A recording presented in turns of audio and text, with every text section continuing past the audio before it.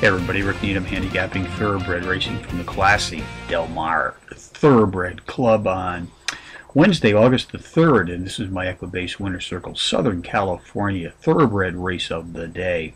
Let's take a look at the race 7 feature from Del Mar, 5 p.m. Pacific Post Time. This is the Graduation Stakes, five and a half furlongs on the cushion track, two-year-olds racing for $100,000.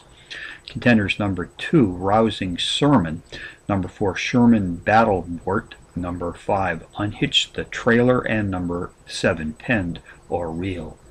Number two, Rousing Sermon is the overall speed and pace profile leader in this stakes field for California Sire Juveniles, has hit the board in each of his three career starts to date, including a power run win in his last start.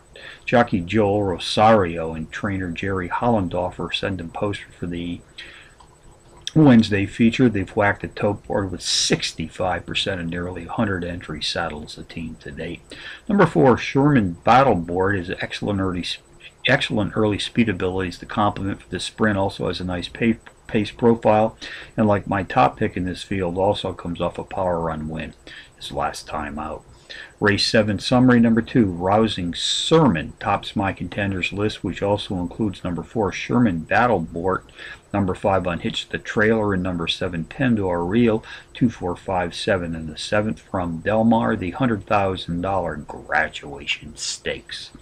Bonus long shots, River Downs, race 5, the 4 to 1 shot. Number 1, Sizzlate, the overall speed leader in this allowance field, sprinting at or about today's distance of 5 and 1 half furlongs on the dirt. Who's Your Daddy Park, race 1, the 6 to 1 shot. Number 10, Zoomy Zoomy, qualifies as a Trackmaster Plus Power Pony, the overall speed leader in this maiden field, sprinting it. Today's distance is 6 furlongs on the dirt. So from Del Mar on a Wednesday, Rick for the Equibase Winter Circle, reminding you as always to please bet with your head, not.